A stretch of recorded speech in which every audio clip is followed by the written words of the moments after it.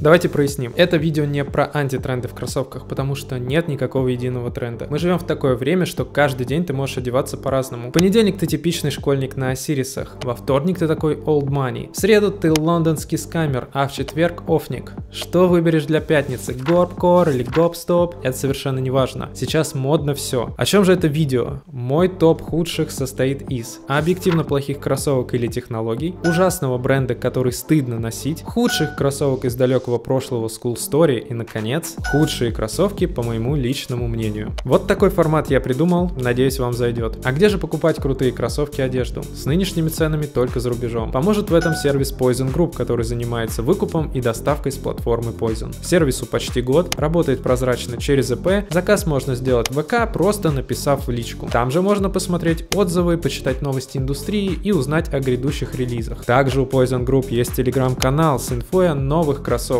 Но самое крутое, что там проводятся розыгрыши. Ссылка на Poison Group где? Да в описании же она.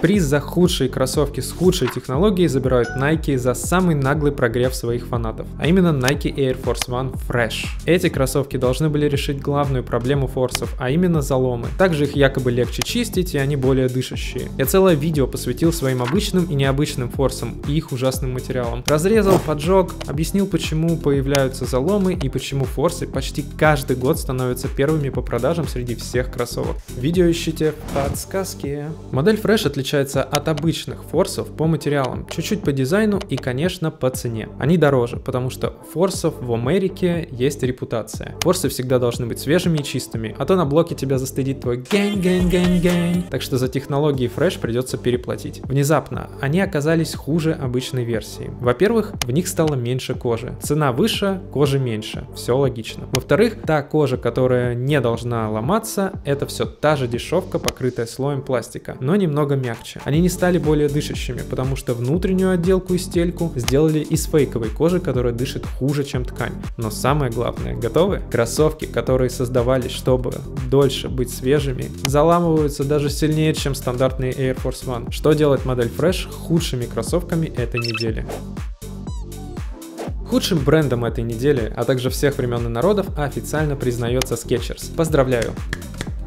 Все благодаря бизнес-стратегии бренда. Skechers создает легальную паль, то есть копирует чужие кроссовки не один в один, а всего на 99%. У Skechers есть свои Yeezy Boost, Air Max 270, Vapor Max, Vans, New Balance, в общем любые популярные кроссовки, только уродливее. Неплохой рекламный слоган. Предвижу ваш вопрос, почему же их не засудят? Иски против Skechers подаются регулярно, но американское право в отношении патентов слишком запутанное, поэтому все суды заканчиваются урегулированием сторон. При том, что некоторые Skechers это действительно удобная спортивная обувь, репутация бренда хуже некуда, именно из-за бесконечного воровства дизайнов. Однако это не мешает Skechers ставить рекорды продаж и быть вторым самым популярным обувным брендом в США. Я провел research и оказалось, что стратегия Skechers это копировать дизайн популярных кроссовок, делать их супер удобными и продавать дешевле оригинала. Это мы с вами тут эстеты, размышляющие, что круче, Nike Jacquemus или Samba Sporty Rich, а большинству людей вообще на это насрать. Они видят два одинаковых кроссовка, но один из них дешевле. Для них нет никакой моды, только уровень инфляции и финансовая грамотность. Ну или просто жадность. Выводы делайте сами.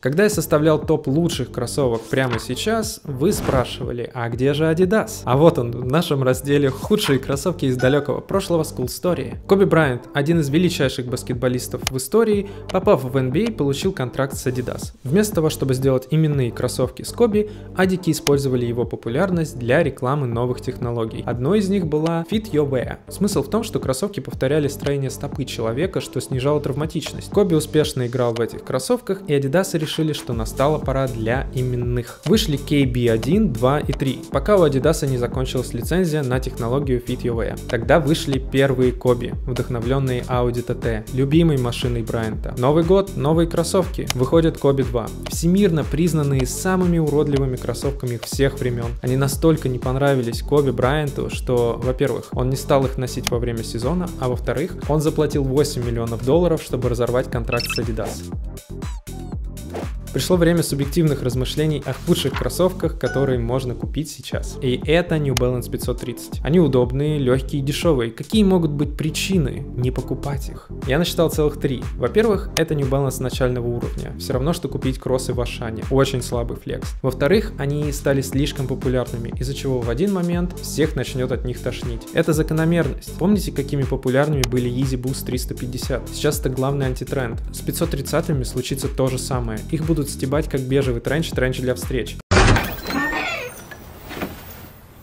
Shit. Shit. Shit. Из чего вытекает третья причина. Эти кроссовки характеризуют ваш стиль как максимально поверхностный. В нем нет индивидуальности. Конечно, все, что я перечислил, имеет хоть какой-то смысл, только если вы реально следите за стилем и ваша одежда действительно является средством самовыражения. Поспорить со мной можно в комментариях или в нашем токсичном комьюнити в Telegram, где я делюсь реально крутыми релизами кроссовок и одежды. Пишите, какие кроссы вы считаете худшими прямо сейчас, и я включу их в следующее видео. И вот этот выпуск э, посмотрите, он очень интересный. Ну что, пока, мой милый друг.